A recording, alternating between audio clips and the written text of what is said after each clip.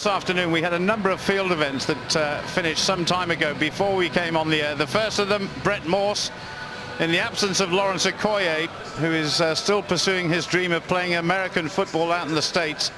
Brett has taken over as British number one. He confirmed that here. He already has the A standard for the men's discus at 66 metres which is a prodigious throw and he won with his very first round throw here 62.05 to become champion once more so Brett Morse, who broke the Welsh record recently, had a series of no throws, but that number one throw in round one confirmed his, him as the champion.